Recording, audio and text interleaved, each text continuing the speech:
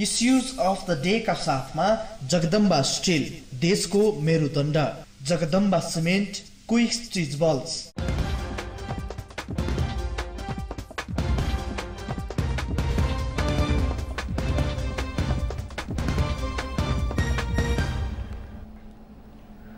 नमस्कार issue of the डेमा तपाईँलाई हार्दिक स्वागत छ। म सङ्गम बानिया।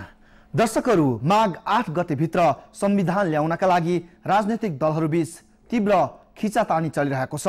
खास गरी एकीकृत नेकपा माओवादी र नेपाली कङ्ग्रेस तथा नेकपा एमाले फरक फरक ध्रुवमा उभिएका छन्। नेपाली कङ्ग्रेस र नेकपा एमाले राज्य पुनर्संरचना तथा शासकीय स्वरूपका विषयमा करिब करिब एकै ठाउँमा देखिन्छ भने मधेसवादी राजनैतिक दलहरू र एकीकृत माओवादी अर्को ध्रुवमा देखिएको छ। पहिलो संविधान सभा जुन कारण विघटित भयो दोस्रो संविधान सभाको संविधान बनाउने बेलामा पनि त्यही विषयले प्राथमिकता पाएको छ। खास गरी राज्यको पुनर्संरचना अन्तर्गत शासकीय स्वरूप र सङ्घीयताको विषयमा कुरा मिल्न नसक्दा राजनैतिक दलहरू यति बेला अलमलमा परेका छन् र कार्तिक पन्ध्र गतेसम्म फेरि सहमति गर्नका लागि राजनैतिक संवाद समितिलाई म्याद थपिएको छ र यो तेस्रो पटक थपिएको म्याद हो।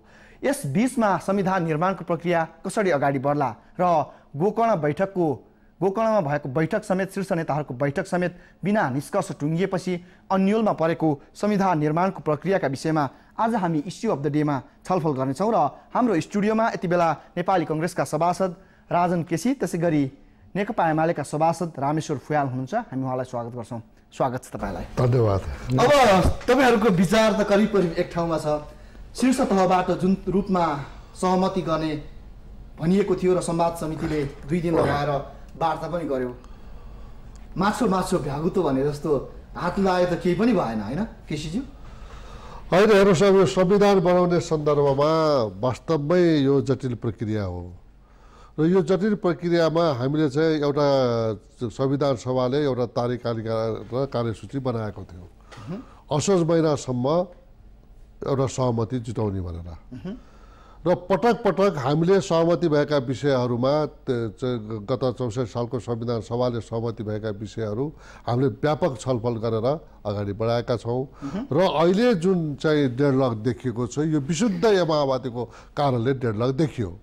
यद्यपि यो संविधान सबैको साझा दस्तावेजको रूपमा रहोस् यो संविधान सबैले स्वीकार गर्न सकोस् अपनत्व ग्रहण गर्न सकोस् भन्ने सम्बन्धमा स्वामत्व स्वामित्व ग्रहण गर्न सकोस् भनेर हामी दुई हजार सत्तरी मङ्सिर चार गतेको जनादेश प्राप्त नेपाली कङ्ग्रेस ठुलो पार्टीको रूपमा र नेपा नेकपा एमाले दोस्रो पार्टीको रूपमा र दुई हजार बैसठी त्रिसठी सालको जुन हाम्रो अन्तरिम संविधानले प्रश्न भनेको छ कि दुई तिहाईले पनि संविधान आउन सक्छ यद्यपि हामी नेताहरूले एउटा समितिको दस्तावेजको लागि कुरिरहेका छौँ र माघ आठ गतेको एउटा डेडलाइन छ।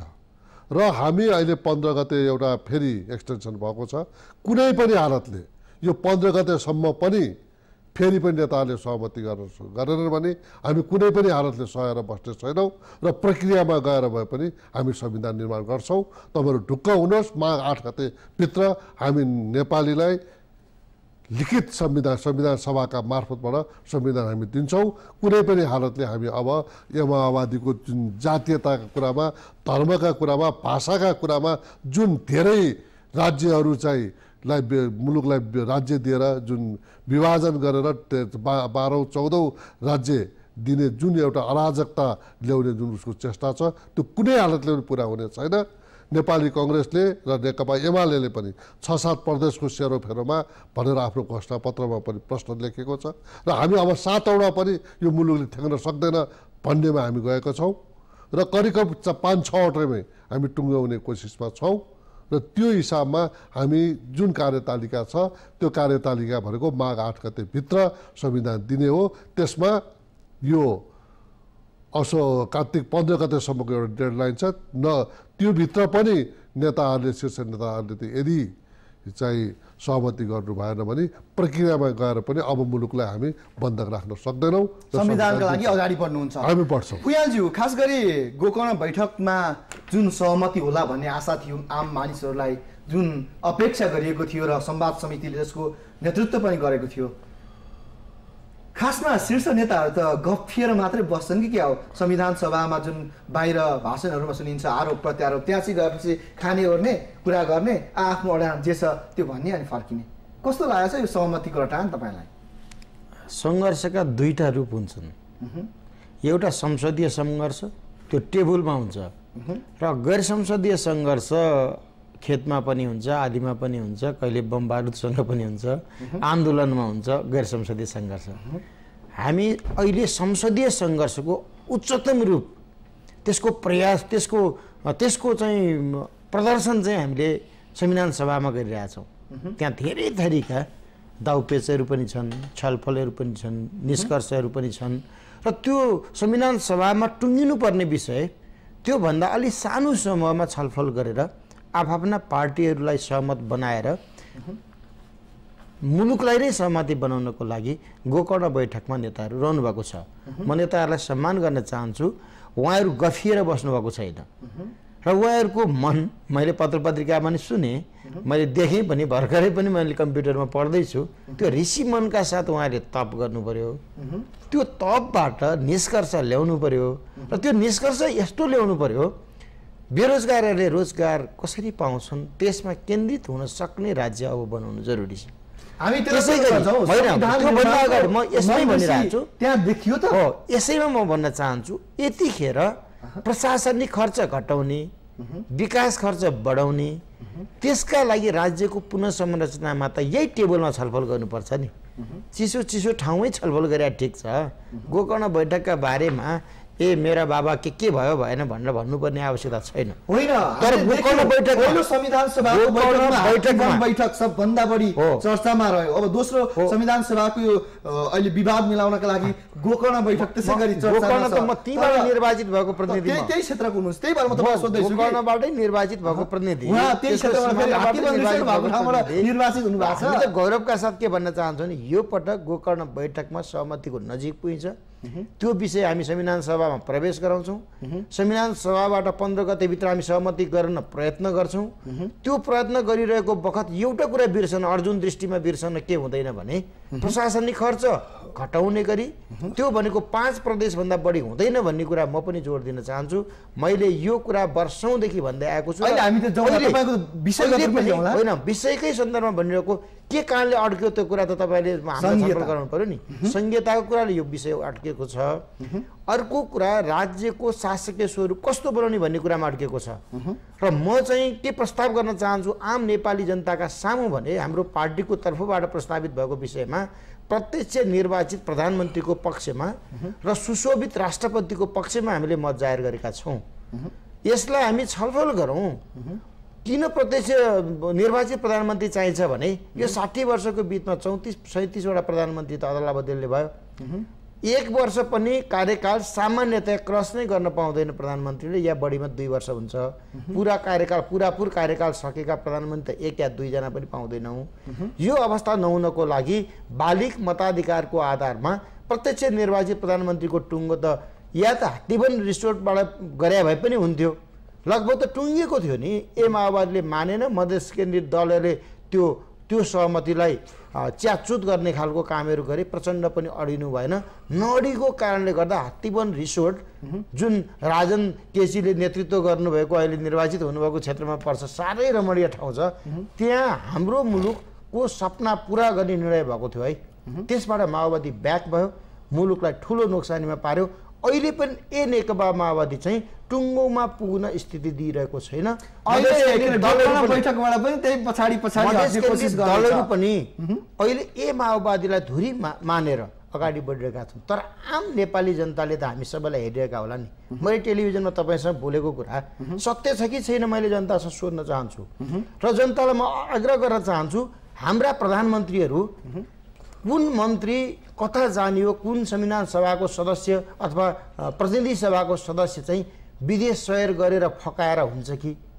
होइन? हामीले प्र हिजो सुराको कुरा पनि सुन्यौँ सुन्दरीको कुरा पनि सुन्यौँ शङ्कर होटलको थुनाथुनको कुरा पनि हामीले सुन्यौँ अनि ब्रिफ केसका तानातानका कुराहरू पनि सुन्यौँ विदेश भ्रमणमा पठाइएको भन्ने कुरा पनि सुन्यौँ केही सांसद प्रतिनिधि सभाका सदस्यलाई अलग बनाइएको भन्ने कुरा पनि सुन्यौँ।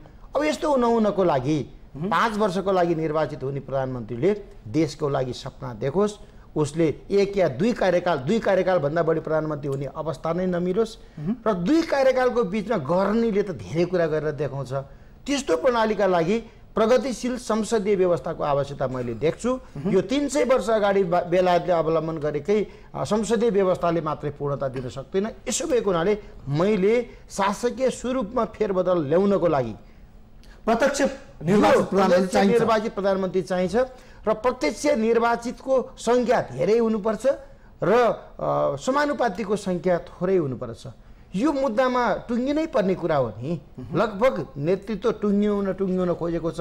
एक सय अठार र एक सय सत्रको प्रस्ताव गरिरहेको छ र पैँसठीजना राष्ट्रिय सभामा मनोनित गरेर समानुपातिकबाट ल्याउने कुराहरू गरिरहेको छ। एक सय सत्रजना समानुपातिक प्रतिनिधि सभामा ल्याउने कुरा गरिरहेको छ।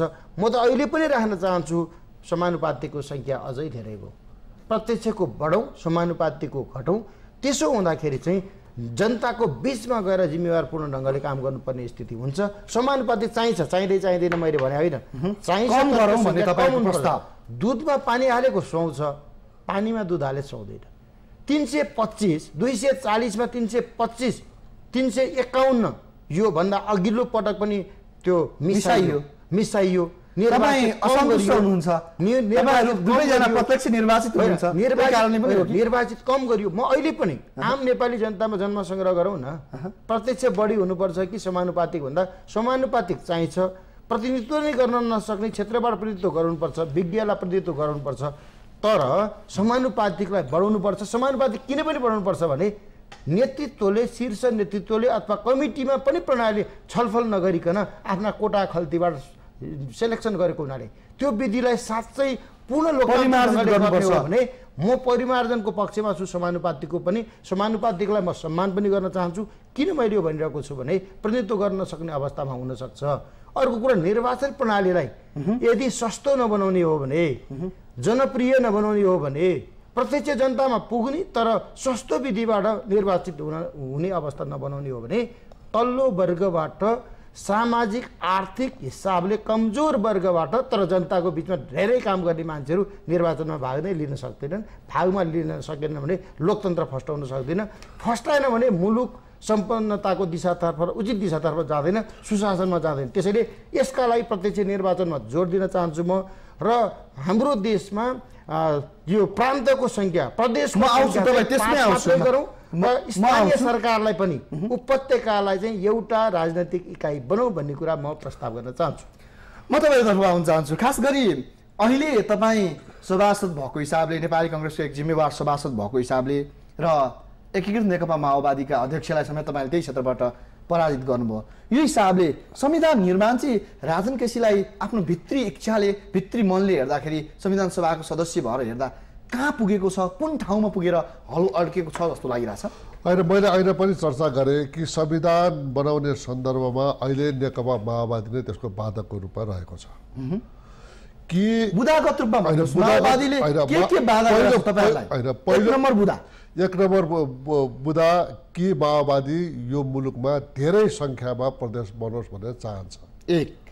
दोस्रो? माओवादी शासकीय स्वरूपमा माओवादी चाहिँ प्रत्यक्ष राष्ट्रपति उसको कुरा हो। तेर्सो स्वतन्त्र न्यायपालिकामा ऊ चाहिँ मनोनित पोलिट ब्युरो सदस्य नै न्यायाधीश हुनुपर्छ भन्ने चाहन्छ। होइन?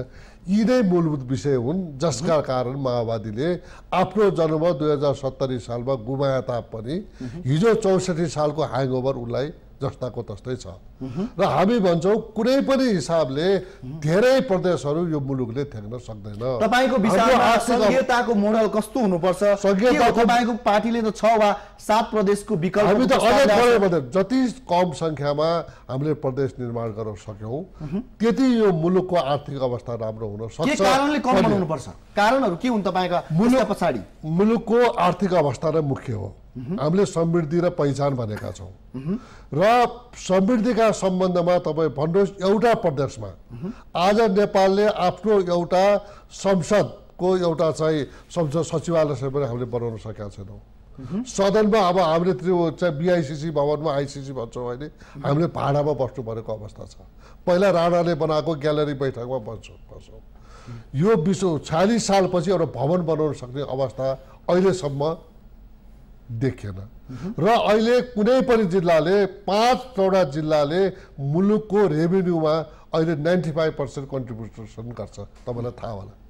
कि कुनै पनि राज्यले आफ्नो त्यहाँ राज्य सरकार पनि होला त्यहाँ आफ्नो प्रशासन पनि होला त्यहाँ मुख्यमन्त्री पनि रहलान् त्यहाँ मन्त्रीहरू पनि रहलान्।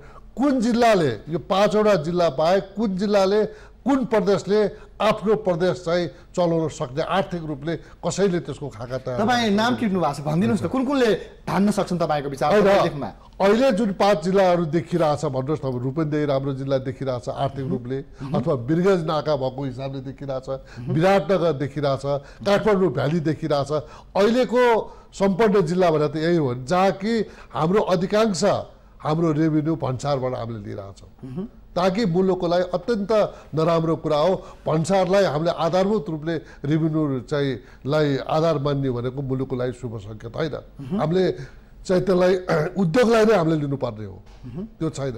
त्यसका कुनै पनि जिल्ला आफ्नो जिल्ला चाहिँ आर्थिक रूपले तपाईँ त अझ कङ्ग्रेसले ल्याएको प्रस्तावबाट पनि घटाउन चाहनुहुन्छ। सात छ हामीले त्यतिखेर भन्यौँ सातवटा पनि सम्भव हुन सक्छ कि भन्यौँ तर वास्तवमा यो मुलुकलाई दिगो विकास गर्ने हो भने राष्ट्रलाई सम्पन्न गर्ने हो भने हाम्रो चाहिँ कुनै हालतमा कम सङ्ख्यामा अझ चार पाँचवटा हामी जान सक्यौँ भने त्यो चाहिँ दिगो हुन सक्छ भन्ने कङ्ग्रेसको स्पष्ट अवधारणा हो। र अर्को कुनै हालतले पनि जातीय नामाकरण गर्ने हो भने जातीय पहिचानमा यो मुलुकलाई प्रवेश गराउने हो भने यो मुलुकमा गृहयुद्ध हुन्छ भन्ने हाम्रो प्रश्न अडान हो।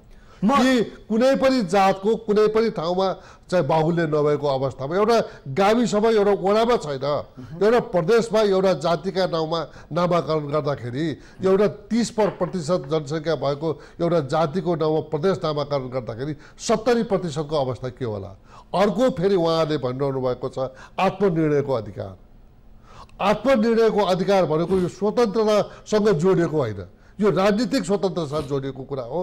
जहाँ कि हिजो चाहिँ सोभियत रुस युनाइटेड हुँदाखेरि धेरै राज्यहरूलाई चाहिँ युनाइटेड गरेको अवस्थामा तिमीहरूलाई कुनै मर्का पर्यो भने तिमीहरूलाई छुट्टिन सक्ने स्वतन्त्रता पनि छ है भनेर आत्मनिर्णयको अधिकार त्यो बेला उपलब्ध गरायो। जस्तो अहिले तपाईँले देख्नुभयो स्कट लाइनबाट स्कट लाइन अलग हुने यस भोट र नो भोटमा चाहिँ स्कट लाइनले अहिले पनि त्यो चाहिँ युनाइटेड किङडम हो। पाँचवटा चाहिँ प्रदेशहरू मिलेर युनाइटेड किङडममा हो। तर स्वतन्त्रताको कुरा आउँदाखेरि त्यहाँ युनाइटेड किङडमसम्म नो भनेर भनियो। त्यो अवस्थामा विश्वको जनमत आइरहेको बेलामा हाम्रो यत्रो सानो आर्थिक रूपले अत्यन्त जर्जर मुलुक। कि एउटा गाविसले एउटा जिल्लाले एउटा प्रदेशले आफू धान्न सक्छु आफ्नो इन्डस्ट्रीले आफ्नो आयबाट भन्न नसक्ने अवस्थामा फेरि हामीले धेरै प्रदेशहरू बनायौँ भने यो मुलुक फेरि आर्थिक जर्जरमा पर्छ भन्ने हिसाबले एउटै आर्थिक सम्पन्नताको हिसाबमा पनि नेपाली कङ्ग्रेसले अथवा नेकपा एमाले पनि थोरै सङ्ख्यामा बनाऊ र पहिचानको सन्दर्भमा के सगरमाथा पहिचान होइन? सगरमाथा लिम्बूको होइन नेवारको होइन छेत्रीको होइन मुसलमानको होइन? आज बागमती क- कसको? हो काठमाडौँको भ्यालीका मान्छेहरू नेवारको बागमती होइन? छेत्रीको बा बागमती होइन? दलितको बागमती होइन? एउटा साझा पहिचान सबैले त्यसलाई ग्रहण गर्न सक्ने सबैले स्वामित्व लिन सक्ने त्यो एउटा पहिचान दिउँ। र सामर्थ्यको सवालमा आर्थिक रूपले चाहिँ धान्न सक्ने प्रदेश बनाऊ भन्ने मात्रै नेपाली कङ्ग्रेसको अभिप्राय हो। त्यसबाहेक कुनै अरू किसिमको नेपाली कङ्ग्रेस उद्देश्य होइन। यो कुरालाई गोलमटोल गरेर फेरि जातीयका नाउँमा भाषाका नाउँमा धर्मको नाउँमा चाहिँ चाहिँ दिनु पायो भने फेरि यो मुलुक अराजकतामा जान्छ फेरि गरिबी यो मुलुकमा चाहिँ उत्पादन हुन्छ र त्यो गरिबीमा फेरि खेल्न पाइन्छ भनेर नेकपा माओवादीले यो किसिमको डेढला गरेको हो। कुनै पनि हालतमा अब हामी सभासद चुप लाएर बस्नेवाला छैनौँ र नेताहरूले यो चाहिँ कार्यसूची र कार्यतालिका तयार भएको छ र माघ आठ गतेभित्र संविधान चाहिँ दिन्छौँ भनेर सभामुखले रुलिङ गर्नुभएको छ। यो सन्दर्भमा अहिले केही समय हामीले कार्तिक पन्ध्र गतेसम्मको छ। कार्तिक पन्ध्र गतेदेखि कार्तिक महिनासम्म हामीले एउटा चाहिँ द दस्तावेज तयार गर्न सक्यौँ भने मङ्सिरमा जनताको घर दैलोमा त्यो प्रस्ताव लिएर जाने हो संविधानको मसुदा लिएर जाने हो पुसमा त्यसलाई लिएर आएर त्यसमा फाइनल डकुमेन्टको रूपमा पुसमा फेरि हाउसमा छलफल गरेर माघ आठ गते हामीले चाहिँ जारी। जारी गर्ने रोक्छु। यदि त्यसमा कुनै अरू प्रक्रियामा म जान्छु र तपाईँलाई म सुन्न चाहन्छु सङ्घीयता यति बेला पनि हलो अड्काउने मूल माध्यम भनेको छ। खास गरी पहिलो संविधान सभामा पनि सङ्घीयतामा सहमति हुन नसक्दा जुन नियति बोक्नु पर्यो र देशले संविधान पाएन अहिले पनि सङ्घीयताको स्वरूप के हुने त्यसको नामाङ्कन कसरी गर्ने र कति सङ्ख्यामा राख्ने मूलभूत विषयहरूमा विवाद यसैमा केन्द्रित छ। र तपाईँहरूको अवधारणा के हो? तपाईँको अध्यक्षले त भनिसक्नु भएको छ फेरि चार वा पाँच प्रदेश। फेरि तपाईँहरूको अवधारणा चाहिँ के छ र कति प्रदेश बनाइनुपर्छ भन्ने लागेको छ रामेश्वर? भुइँहाल्ला यति सबभन्दा पहिलो कुरा नेकपा एमालेको आठौँ राष्ट्रिय महाधिवेशन पछाडिको परिस्थितिमा हामीले गरेको निर्णय सात प्रदेश हो। त्यो सात प्रदेशको विचार पारित भइरहेको बखत पनि मैले चाहिँ पाँच प्रदेश हुनुपर्छ भन्ने विचार राखेको थिएँ र छु र आज पनि म त्यही कुरामा अडिग छु। पाँच प्रदेश नेपालको सन्दर्भमा सुहाउँदो हुन्छ र उपत्यकालाई चाहिँ एउटै सिङ्गै उपत्यकाको एउटा स्थानीय सरकार राजधानी स्थानीय निकायको रूपमा राजधानीभरिको उपत्यकाको महानगरपालिका भनौँ त्यो चाहिँ केन्द्र शासित प्रदेशको रूपमा केन्द्र शासित स्थानीय सरकारको रूपमा राखौँ त्यो बागमती प्रदेशभित्र अथवा काठमाडौँ प्रदेशभित्र राख्न सकिन्छ मेरो विचारमा। र हाम्रो मुलुकलाई गति दिनको लागि जडान प्रदेश कसरी सम्भव छ? तपाईँलाई भनौँ जडान प्रदेश बनाउने त्यसको राजधानी कहाँ बनाउने? मुख्यमन्त्री कहाँ रहने? कतिवटा घोडा पाल्ने? अथवा परेवाबाट चाहिँ सूचना सञ्चार गर्ने हो कि? मलाई जडान प्रदेशको त सम्भावनै देख्दिनँ। सम्भावनै देखिँदैन नि। त्यसको आय पनि चाहियो। त्यसको सम्पूर्ण खालको तपाईँ पनि काङ्ग्रेसले ल्याएको सात प्रदेशबाट घट्नुभयो। तपाईँ पनि एमाले ल्याएको सात प्रदेशबाट घट्दै हुनुहुन्छ।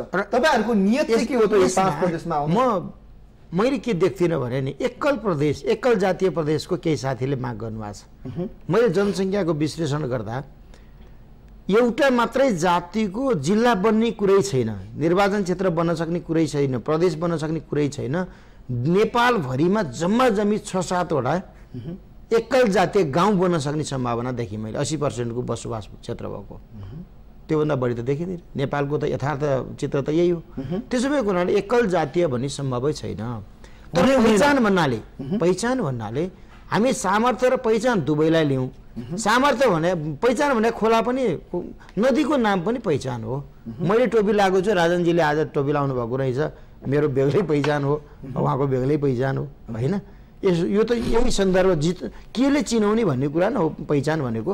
त्यसो भएको हुनाले हामी पानी ढलो पनि हेरौँ आर्थिक आधारहरू पनि हेरौँ सम्पर्क बिन्दु पनि हेरौँ जनताले कता बस्न चाहन्छन् त्यो पनि ती सबै कुराहरू पनि हेरौँ। सामर्थ्य र पहिचानको आधारमा हामीले प्रदेशको छनौट गर्नुपर्छ। यसका लागि मैले उत्तर दक्षिणको सिमाना जोडिएकै प्रदेश हुनुपर्छ। उत्तर दक्षिण उत्तरदेखि दक्षिणसम्मको सम्बन्धलाई पनि विकसित गर्न। त्यसो भए अहिले भएका पाँच प्रदेशलाई यसो पाँचवटा विकास क्षेत्र हो नि त्यसलाई प्रदेश बनाउँदा म त्यो त्यो जति वैज्ञानिकहरू देख्थिनँ त्यसैले मैले यसैलाई भन्नेहरू। महेन्द्र राष्ट्रवाद होइन जो त एक र एक जोड्यो भने ऋषिमुनि कालदेखि भएको भनेर अब ऋषिमुनिले गरेर मान्दिनँ भन्ने मिल्दैन नि। त महेन्द्रको नै सवाल होइन। एक थरी मान्छेले भने चन्द्र सूर्य अङ्कित राष्ट्रिय झन्डा चाहिँ महेन्द्रको झन्डा भने मैले जुन कुरा लगाइरहेको छु यो- यो- यो- यो राष्ट्रिय झन्डा चाहिँ कुनै शाह वंशले उत्पत्ति गरे हो त? कुनै लिच्छवी वंशले हो त? अझ अगाडिदेखि हो भन्ने किम्बदन्ती छ त्यो सुनिन्छ। र यो शाह वंशको सवाल होइन यो पञ्चायतको सवाल होइन। यसो भएको हुनाले यो पाँच विकास क्षेत्र भनेको हिमाल पहाड तराई मिलाएर यहाँको पानी ढलो र यी सबै कुराहरू मिलाएर आय आउ उत्पादन हुने क्षेत्र नहुने क्षेत्र मिलाएर पर्यटकीय विकास गर्न सक्ने क्षेत्र र खनिज उत्पादन हुन सक्ने क्षेत्र अन्न उत्पादन हुने क्षेत्र सम्पर्क मार्गहरू यी सबै कुरा हेरेर गइरहेको छ। त्यसरी मैले पाँच उपयुक्त देख्छु। र राजधानीमा चाहिँ एउटै स्थानीय सरकार बनाउनुपर्छ भ्यालीभरिको भन्ने पनि मैले देख्छु। मैले यो विचार संविधान सभामा पनि राखेको छु लेखहरूमा पनि राखेको छु आम जनतामा पनि राखेको छु पार्टीमा पनि राखेको छु र सात प्रदेश पारित हुने बेलामा पनि मैले मेरो पार्टीभित्र यही कुरा राखेको छु। म अलिकति तपाईँहरूलाई इन्ट्रेस्टिङली सोधौँ कि तपाईँ त एकीकृत माओवादीले भनेअनुसार तपाईँहरू दुवैजना नेवा प्रदेशका होइन प्रस्तावित नेवा प्रदेशका सदस्यहरू हुनुहुन्छ संविधान सभामा जितेर आउनु भएको छ। तपाईँलाई चाहिँ कोही नेवार अथवा नेवार समुदायले चाहिँ यहाँभित्र नेवार प्रदेश बनाउनु पर्यो भनेर भोट हाल्नु भएको थियो? तपाईँलाई सोधेँ मेरो विचारमा म एक हजार हजार उनान्से साल नेपाल सम्बन्धको अहिले एक हजार एघार सय पैँतिस हो। हजार उनान्सेदेखि नेपाल सम्बत हजार उनान्सेदेखि नेपाल भाषा मङ्का खलको जुलुसकोमा सामेल हुने र नेतृत्व गर्ने व्यक्ति हो। त्यसैले गर्दा यहाँका आम नेवार साथीहरूको बिचमा भाषा बोल्नेदेखि लिएर त्यसलाई सम्मान गर्नेदेखि लिएर सबै कुरामा म एकदमै दुधमा पानी मिसिए जस्तै मिसिएर काम गर्ने मान्छे हो। म अहिले पनि राख्न चाहन्छु सम्मान गर्न चाहन्छु भाषाको सम्मान जातिको सम्मान सबै जातिको सम्मान सबै धर्मको सम्मान सबै जातिको सम्मान सबै लिङ्गको सम्मान र वर्गको सम्मान पनि गरिनुपर्छ त्यसो भएको हुनाले यो सवाल तपाईँले यो जातको आधारमा मैले हुन्छ हुँदैन भने होइन। सबभन्दा बेस के गरी हुन्छ भनेर भन्ने बारेमा चाहिँ मैले के देख्छु भने कान्तिपुर प्रदेश भन्न पनि सकिन्छ। काठमाडौँ तर आधारमा हुँदैन। यसलाई राजधानी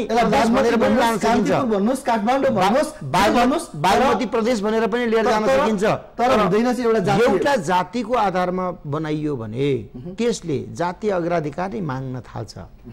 अनि जातीय अग्राधिकारको कुरा गर्न थालियो भने छत्तिस या छब्बिस छब्बिस प्रतिशत जनसङ्ख्या र चौहत्तरको बिचमा अर्को द्वन्द्व सिर्जना हुन्छ।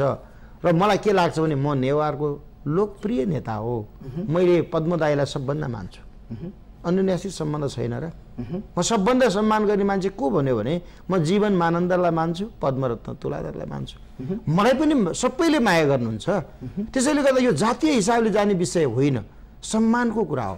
र त्यसो भएको हुनाले म अहिले पनि राख्न चाहन्छु नाउँ दिँदाखेरि साझा पहिचानमा जाउँ भन्ने कुरा जातीय पहिचान चाहिँ। नगरौँ जातीय पहिचान होइन साझा पहिचानमा दिउँ जनताको लोकप्रिय हिसाबले दिउँ र अर्को कुरा पनि हो ठिक छ गोकर्ण बैठकमा यो टुङ्गिँदैन भने प्रदेश सभामा जाउँ। प्रदेश सभामा पनि जा टुङ्गिँदैन भने जनमतमा जाउँ जनमतले जे भन्ला त्यो मानौला। यसो नाममा अडिनु पर्ने आवश्यकता छैन। अहिले सोधेको प्रश्नमा मैले प्रश्न भन्नुपर्छ। जातीय कुरामा अहिले छलफल गर्नु जरुरी छैन। साझा पहिचानमा जाउँ। यदि यो विषय अहिले टुङ्गाउनलाई गाह्रो हुन्छ राजनीतिक पार्टीहरू भने यसलाई प्रदेश सभामा जाउँ प्रदेशमा त हामी निर्वाचित भएर आउँछौँ। होइन प्रदेशभन्दा पनि सभाभन्दा पनि तल जाने हो भने जनतामै जनमत सङ्ग्रहमा जाउँ। जनमत सङ्ग्रहले एउटा टुङ्गो गर्छ। त्यो टुङ्गोबाट अगाडि बढ्न सकिन्छ। म- संविधान- म यता आउँछु। माघ आठ उहाँ गते- पनि- उहाँ माघ पनि- आठ गतेभित्र संविधान बनाऊ। र बाँकी कुरा टुङ्गाउँदै जान सकिन्छ। म तपाईँलाई सोध्छु कि यही प्रश्न मैले तपाईँलाई सोधेँ भने तपाईँको जवाब चाहिँ के हुन्छ यसमा? होइन मैले त अहिले पनि जातीय आधारमा हुँदैन। जातीय आधारमा अहिले हाम्रो रामेश्वरजीले पनि भन्नुभयो छत्तिस पर्सेन्ट जनसङ्ख्या रहेको काठमाडौँ जिल्लामा काठमाडौँ जिल्लाको मात्रै कुरा गरौँ कि च च जातीय आधारमा उहाँहरूलाई चाहिँ अग्राधिकार दिने हो भने चौहत्तर पर्सेन्टको मत के रहने? त्यसै कसैको पनि बाहुल्य नभएको कारणले कुनै जातीयताको नाउँमा कुनै भाषाका नाउँमा कुनै धर्मको नाउँमा नामाकरण हुनु हुँदैन। साझा पहिचान सबैले ग्रहण गर्न सक्ने। सबैले यो नेपाल मेरो हो। यो संविधानले मलाई पनि हकित गर्छ मलाई पनि यसले चाहिँ सम्बोधन गर्छ र म पनि मेरा प्रतिनिधि यो संविधान बनाएको हो भन्ने गर्व गर्न सक्ने। हाम्रो सामाजिक बनोट त यथार्थता हो नि। राष्ट्रिय एकता र राष्ट्रिय सद्भाव भन्दा त अरू ठुलो कुरो छैन नि। के कुनै जातिको ठाउँमा हामीले चाहिँ बनाउने बित्तिकै रेस्ट अरू जातिले के फिल गर्छ भन्दा म यो प्रदेशको त मेरो कुनै चाहिँ भूमिका रहेन। र म आइसोलेट भएको त फिल गर्छ नि। जब एउटा हामीले बनाउन खोजेको संविधान कस्तो? हामीले बनाउन खोजेको संविधान राष्ट्रलाई एक बनाउने एक ढिक्का बनाउने र पाउने तिन करोड नेपालीलाई एक ढिक्का बनाएर राष्ट्र निर्माण गर्न सकियोस् जसमा चाहिँ सामाजिक सद्भाव दिन सकोस् राष्ट्रिय चाहिँ नेसनल युनिटी र हार्मोनी चाहिँ कायम गर्न सकोस् भन्ने कल्पना गरिएको संविधान सभालाई फेरि टुक्रा टुक्रा पारेर जातीय सद्भावलाई खल बनाउने काम गर्ने हो भने निश्चित रूपले यो दिगो हुन सक्दैन र नेपालमा जातीय युद्ध पनि हुन सक्छ। त्यसकारण सबैलाई स्वीकार्य हुन सक्ने सबैले गर्व गर्न सक्ने यस्तो साझा पहिचानको एउटा चाहिँ खोजौँ। र जसले गर्दाखेरि चाहिँ सबै नेपालीहरूलाई ढुक्क होस् कि त्यो संविधानले मेरो जातिलाई मेरो भाषालाई मेरो धर्मलाई पनि सम्बोधन गरेको छ म इक्वल अपर्च्युनिटी र इक्वालिटीमा यो संविधानले विश्वास गर्छ भनेर गर्व गर्न सक्ने संवि- संविधान निर्माण गरौँ भन्ने हो।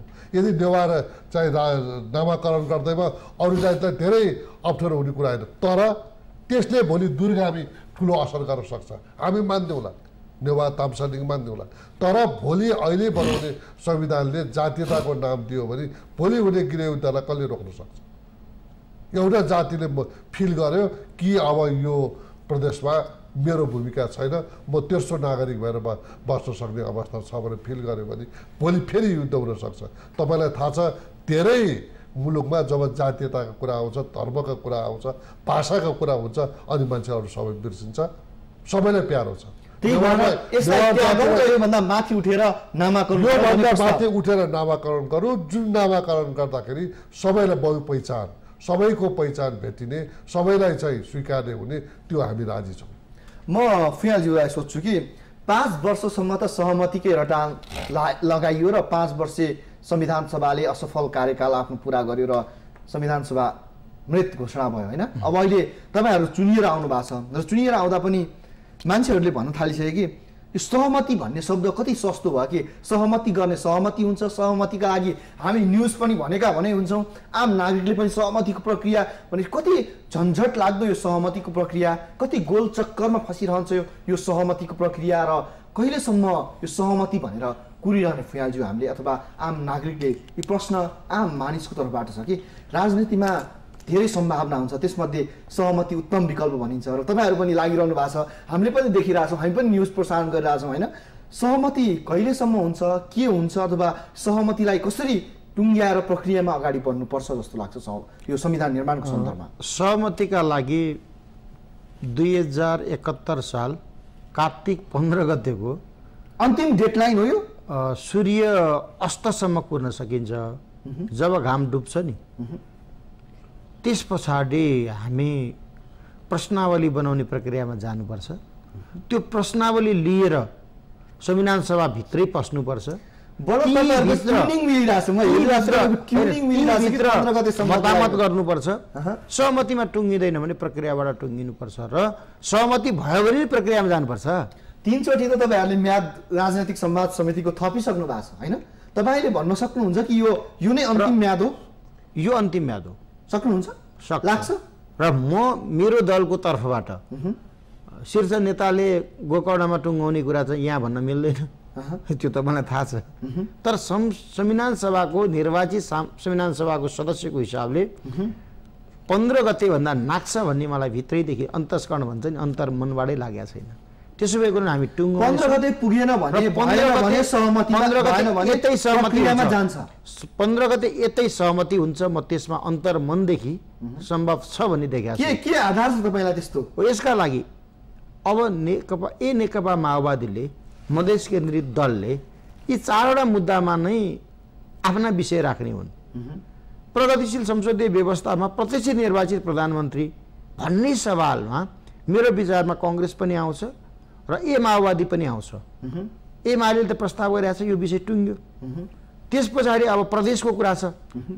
ए माओवादीले घुमाइ फिराइ के छ भने या त छ गरौँ या त दस गरौँ या त चौध गरौँ या सत्र गरौँ यस्तो नै भइरहेछ यो बिचमा उसले पाँचमा आउनको लागि म नेपाली कङ्ग्रेस एमाले तिन चार पाँच सात यस्तै भनिरहेछन्।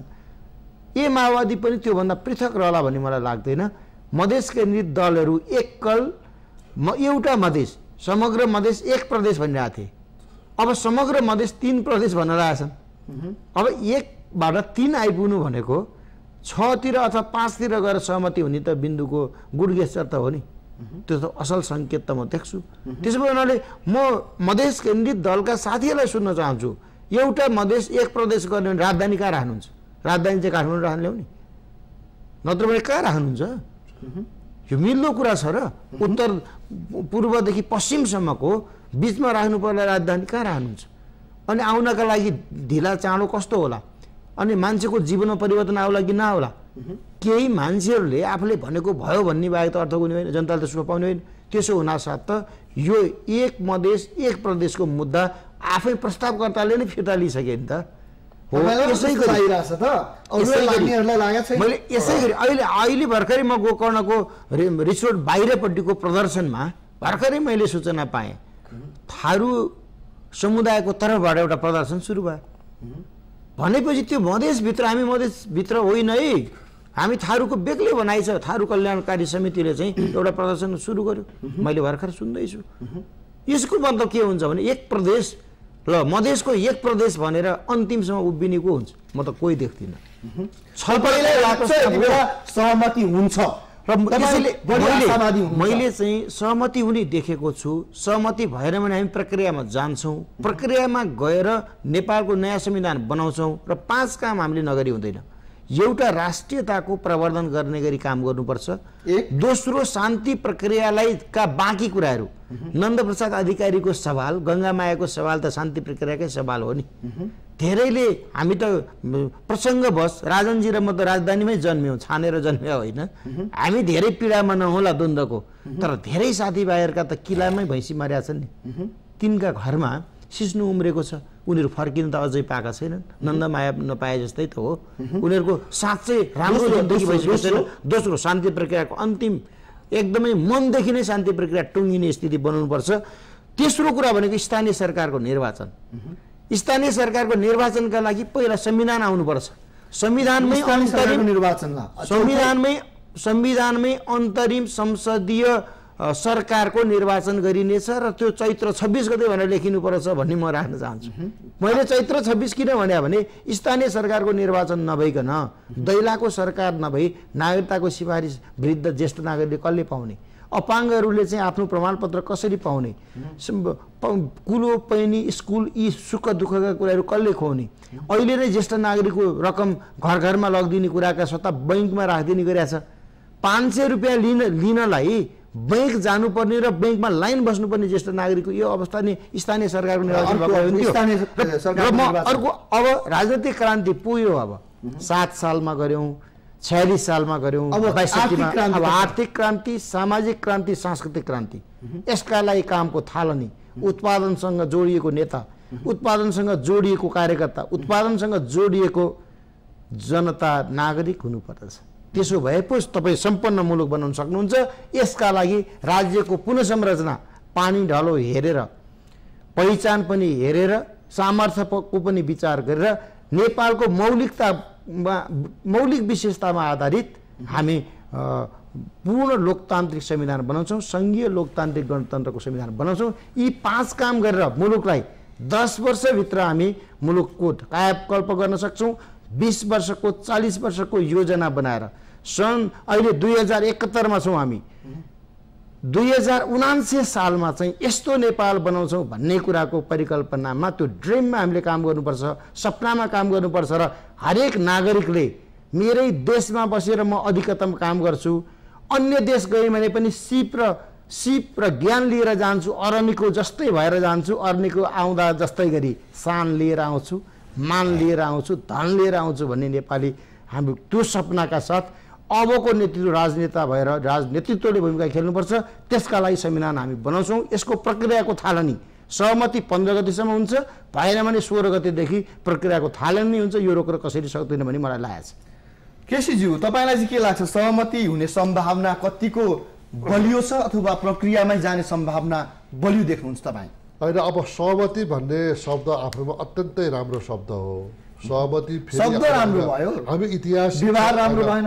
इतिहासी संविधान सभाका मार्फत संविधान बनाउँदै बनाउँदैछौँ र संविधान जस्तो एउटा गहन चिजलाई सहमतिका मार्फतबाट लिएर गएर साझा दस्तावेज चाहिँ बनाउनु अत्यन्तै राम्रो कुरा हो त्यसका लागि पनि हामी धेरै यति ठुलो जनादेश प्राप्त भइसकेपछि पनि हामी सहमतिबाट नै संविधान आओस् भनेर हामी प्रयत्नशील छौँ।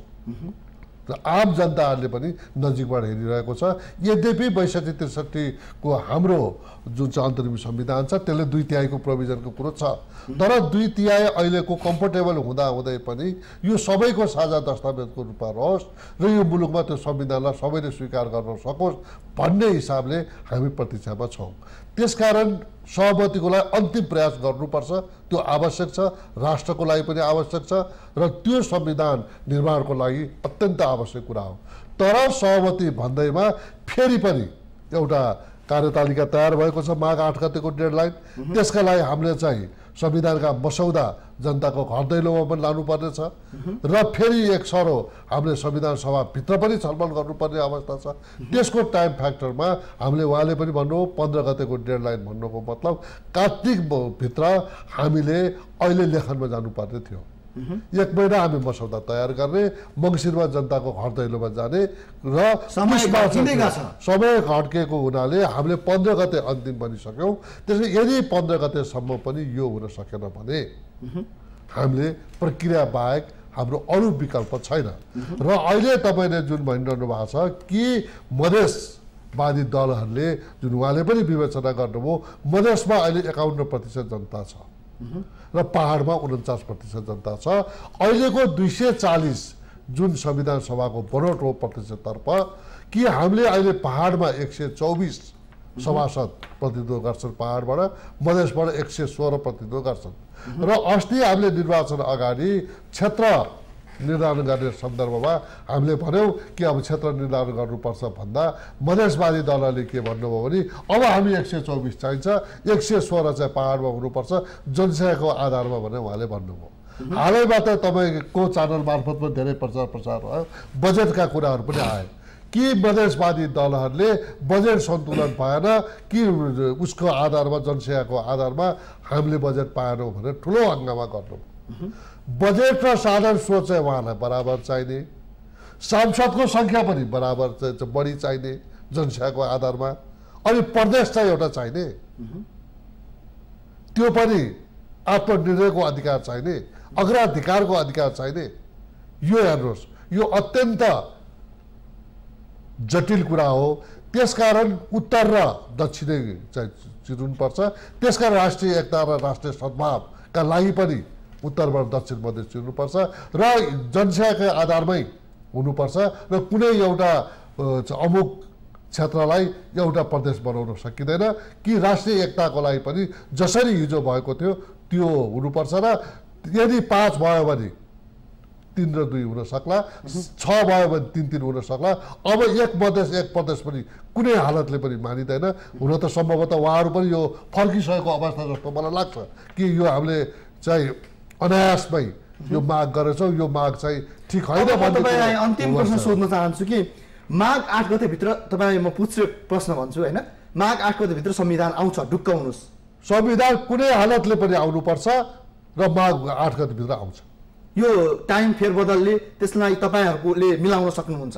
होइन अहिलेसम्म मैले कार्यतालिका भने नि तपाईँलाई कि कार्तिकसम्म हामीले लेखनको जति चाहिँ सहमति र असहमति भएका कुराहरूलाई असहमति भएका कुराहरू पनि सहमति बनाएर ल्याउने सहमतिको सहमति दस्तावेज गरेर कार्तिकमा लेख्ने मङ्सिरमा हामी घर दैलोमा संविधानको मसौदा लिएर जाने भन्ने कार्यतालिकामा अहिले पन्ध्र गते असोजको ए वसान्तको डेडलाइन सिद्धिएको छ। पन्ध्र गते सभामुखले फेरि रुलिङ गरेका छन् पन्ध्र गते समय मागेका छन् र पन्ध्र गतेसम्म पनि यदि सहमति अत्यन्त राम्रो कुरा हो। तर सहमतिको सहमतिको नाउँमा मुलुक बर्बाद गर्न पनि दिने छैन। सहमतिको नाउँमा दुई हजार सत्तरी साल मङ्सिर चार गतेको जनादेशलाई पनि बिर्सिनेवाला हामी छैनौँ। त्यसकारण हामी पन्ध्र गतेसम्म कुर्छौँ यदि पन्ध्र गतेसम्म पनि सहमति हुन सकेन भने हामी प्रक्रियामा जान्छौँ र माघ आठ गतेको कार्यतरिकालाई कुनै हालतले पनि हामी चाहिँ भङ्ग हुन दिने छैनौँ। त्यो हाम्रो प्रतिबद्धता हो। म तपाईँलाई पनि यही प्रश्न एकदमै छोटो छोटकरीमा माघ आठ गतेभित्र संविधान आउँछ आम नागरिकहरू ढुक्क भए हुन्छ होइन? मेरो विचारमा एकदम छोटकरीमा भनिदिनुहोस्। माघ आठ गतेभन्दा अगाडि स्थानीय सरकारको निर्वाचन हामीले तय गरिसक्नुपर्छ त्यसको तिथि मिति तय गरिसक्नुपर्छ। नगरी नहुने एउटा काम यो हो। र माघ आठ गतेभित्र संविधान घोषणा गरिसक्नै पर्छ र त्यो संविधान भनेको चाहिँ प्रगतिशील संसदीय व्यवस्थाको संविधान। पूर्ण लोकतन्त्रतर्फ मुलुक फर्काउनु पर्यो र सङ्घीय लोकतान्त्रिक गणतन्त्र नै हो। यसमा कुनै दुविधा हुँदैन। मान्छेले भ्रम गरेका छन्। हामी एमाले कङ्ग्रेस त्यस त्यो भ्रमबाट बाहिर छैनौँ त्यो भ्रममा छैनौँ। हामी सङ्घीय लोकतान्त्रिक गणतन्त्रको संविधान बनाउन चाहन्छौँ। र जस्तो संविधान र जसले बनाए पनि बिपी कोइराला पुष्पलाल श्रेष्ठ मदन भण्डारी या मनमोहन अधिकारी जसले उभिएर संविधान बनाए पनि उहाँले बनाएको संविधान नै च्यातिन्छ यतिखेर। किनभने च्याछु च्याछु भनेर एक थरी उग्र पन्थ लागेको छ। दक्षिणतर्फको दक्षिण पन्थ उग्र दक्षिण पन्थ या उग्र वाम पन्थले चाहिँ यो संविधान च्यात्नेछ तर त्यसको समुदाय त्यो समूह चाहिँ सानो समूह हुन्छ। त्यसैले जस्तो संविधान भयो नि च्यात्छ है। र आठ गतेभित्र संविधान पोलिसकेर हुन्छ। तपाईँ यसमा चाहिँ म जनताको बिचमा राख्न चाहन्छु तर उनान्से पर्सेन्ट जनताले समर्थन गर्ने गरी अन्ठानब्बे प्रतिशत जनताले समर्थन गर्ने गरी हामी संविधान बनाउनेछौँ। उनान्से भएपछि त पूर्णता भयो नि। त्यस्तो संविधान हामी चित्त बुझाउने जनताको लोकप्रिय संविधान हामी घोषणा गर्न सक्छौँ। तेस्रो कुरा अब यसपछि के गर्ने? यस पछाडि हामी आर्थिक क्रान्तिका लागि लागि। सामाजिक क्रान्तिका लागि लाग्ने सांस्कृतिक क्रान्तिका लागि लाग्ने र रोजगार क्रान्तिका लागि लाग्ने। बेरोजगारहरूलाई रोजगार नदिकन यो मुलुक बन्न सक्दैन। त्यसरी त्यो सम्पन्नताका लागि हामी लाग्नेछौँ र हाम्रो मुलुक समुन्नत मुलुकको रूपमा चिन र भारत सँगसँगै हामी विकसित मुलुकको रूपमा अगाडि बढ्न सक्छौँ। यसका लागि केही वर्ष हामीले कुर्नुपर्छ। हस् आइदिनु भयो। तपाईँहरू दुवैलाई विचार र समयका लागि धेरै धेरै धन्यवाद। सबै चाडहरूको उपलक्ष्यमा म हार्दिक शुभकामना पनि दिन चाहन्छु। धन्यवाद। धन्यवाद। दर्शकहरू यसरी माघ आठ गतेभित्र संविधान ल्याउनका लागि तीव्र रस्साकसी चलिरहेको छ। विवादका विषयहरू थाती नै छन् उस्तै छन् तर पनि राजनैतिक दलहरूका सभासदहरू भनिरहेका छन् माघ आठ गतेभित्रै संविधान आउँछ। आम नागरिकले अपेक्षा गरे अनुसार माघ आठ गतेभित्रै आम नागरिकले अपनत्व महसुस गर्न सक्ने संविधान जारी होस्। यो हाम्रो पनि कामना छ। आजका लागि इस्यु अफ द डेको श्रृङ्खला यति नै। आजलाई हामीलाई बिदा दिनुहोस्। Nasty.